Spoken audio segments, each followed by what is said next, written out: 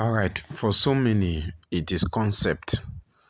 Why to some, it is acting, so to say.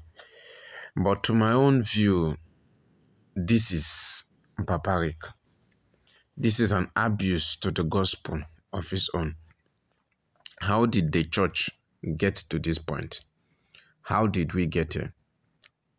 A minister coming to minister the gospel and coming with the coffin. What is it trying to send? How did the church get to this very point? What are they sending? Who are we competing with? Who are we copying all these things from?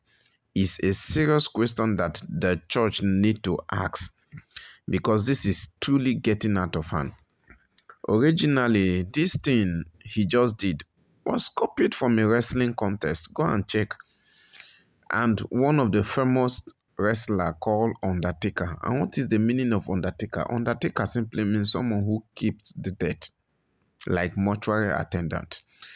And here is a gospel minister coming to minister, and at the same time, people will still celebrate him and said he is indeed a gospel minister.